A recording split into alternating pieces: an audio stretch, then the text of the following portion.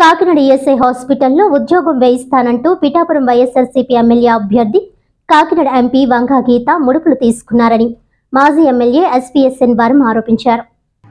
ఈ సందర్భంగా ఆయన మాట్లాడుతూ కాకినాడ యూఎస్ఏ హాస్పిటల్లో ఉద్యోగానికి పది లక్షల రూపాయలు చొప్పున వాగా గీత తీసుకుని ఉద్యోగాలు వేస్తున్నారని ఎన్నికలు కూడా అమల్లో ఉండగా ఉద్యోగాలు ఏ విధంగా వేస్తారని ఆయన ప్రశ్నించారు. ఈఎస్ఐ హాస్పిటల్లో ఉద్యోగాల స్కీమ్ కోట్ల రూపాయల్లో ఉందని సుమారు ముప్పై మంది దగ్గర పది నుంచి పదిహేను లక్షల రూపాయలు ఎంపీ వంగా గీత కలెక్ట్ చేశారని ఆరోపించారు. కూటమి ప్రభుత్వం వచ్చిన వెంటనే పవన్ కళ్యాణ్ ద్వారా కేంద్ర ప్రభుత్వం నుంచి ఎంక్వైరీ వేయిస్తామని తెలిపారు. కాకినాడ పార్లమెంట్ పరిధిలో ఉన్న అన్ని అసెంబ్లీ నియోజకవర్గాలకు సమాన ప్రాతిపదికన ఈఎస్ఐ హాస్పిటల్లో ఉద్యోగాలు ఇవ్వాలని కోరారు.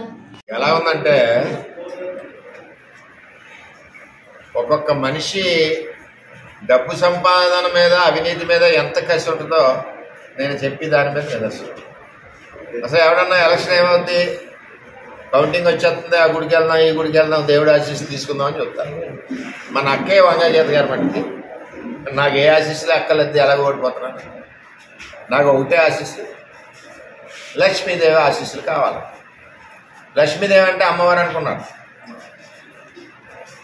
తప్పుసమ్మ భగవంతుడు కాదు. ఈఎస్ఐ హాస్పిటల్లో కాకినాడలో ఉన్న ఈఎస్ఐ హాస్పిటల్లో అంతా డబ్బే. త్వరగా రండి. పది లక్షలు ఇవ్వండి. తాత్కాలిక ఉద్యోగం తీసుకోండి. ఇరవై వేలు ఇదే క్యూలు. నేను ఈఎస్ఐ యాజమాన్యాన్ని అడుగుతున్నాను డైరెక్టర్ గారిని. ఎలక్షన్ కమిషన్ అండర్లో ఉండగా మీరు రిక్రూట్మెంట్ ఎలా చేస్తారని నేను అడుగుతా ఉన్నాను. ఎట్టి పరిస్థితుల్లోని ఈఎస్ఐ హాస్పిటల్లో జరిగే రిక్రూట్మెంటు జరిగిన రిక్రూట్మెంటు పూర్తయింది. స్కామ్ కోట్ల రూపాయల్లో ఉందని చెప్పి నేను చెప్తా ఉన్నా. మా దగ్గర పోటీ చేసిన వైఎస్ఆర్సీపీ అభ్యర్థి ఆపద్ధర్మ ప్రభుత్వంలో ఉన్న ఎంపీ అభ్యర్థి వంగా గీతక్కయ్య గారు ఈ కార్యక్రమంలో ఉన్నారు ఇప్పటికే దగ్గర దగ్గర పాతిక ముప్పై మంది దగ్గర మనిషి దగ్గర పది నుంచి మినిమం పదిహేను ఇరవై లక్షలు ఆవిడ కలెక్ట్ చేశారు. నేను ఒకటే అడుగుతున్నా ఈఎస్ఐ డైరెక్టర్ గారు. మీకు భాగస్వామి ఉందా ఈ అవినీతిలో? కానీ సిఫార్సులు మీరు ఆమోదిస్తున్నారా? ఇది తేలాలి రేపు మా ప్రభుత్వం వచ్చినప్పుడు పవన్ కళ్యాణ్ గారి ద్వారా ఎంక్వైరీకి సెంటర్ కేంద్ర ప్రభుత్వం నుంచి ఆదేశిస్తామని చెప్పి తెలియజేస్తున్నా. ఎట్టి పరిస్థితుల్లోనే ఈ ఏడు నియోజకవర్గాలకి సంబంధించి ఈఎస్ఐ హాస్పిటల్లో ఏదైతే టెంపరీ పోస్టులు ఉంటాయో ప్రతి నియోజకవర్గానికి సమానంగా రావాల్సిందే అని చెప్పి నేను తెలియజేస్తున్నా ఈఎస్ఐ డైరెక్టర్ గారు అంతేగాని గీతక్కయ్య గారు కలెక్షన్ చేసిన సొమ్ముతో పాతిక ముప్పై మంది పేర్లని మీరు కన్సిడర్ చేస్తే దీని మీద కేంద్ర ప్రభుత్వం ద్వారా పవన్ కళ్యాణ్ గారి ద్వారా కంప్లైంట్ ఇప్పించి కాకినాడ ఎస్ఏ హాస్పిటల్లో జరిగిన అన్ని రిక్రూట్ల మీద రిక్రూట్మెంట్ల మీద ఎంక్వైరీ చేయిస్తామని చెప్పి ఈఎస్ఐ డైరెక్టర్ గారికి హెచ్చరిస్తున్నా. ఇటువంటి కార్యక్రమాలు చేయొద్దని కూడా రిక్వెస్ట్ కూడా చేస్తున్నాం.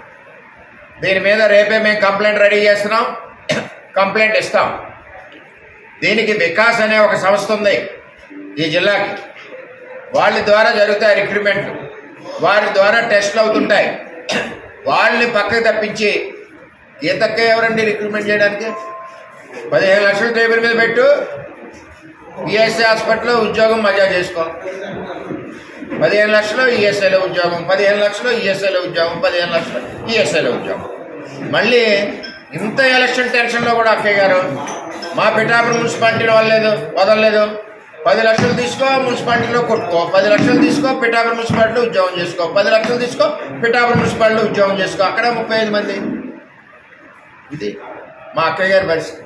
భగవంతుడి దయ ఆవిడ ఓడిపోతుంది కానీ మమ్మల్ని కూడా అమ్మేస్తుంది చేత ఇక్కడ ప్రజలు కూడా నీతి నిజాయితీకి కూటమి అభ్యర్థి పవన్ కళ్యాణ్ గారిని అత్యధిక మెజార్టీతో గెలిపిస్తున్నందుకు పిఠాపురం ప్రజలందరికీ కూడా నేను ధన్యవాదాలు తెలియజేస్తా ఉన్నాను.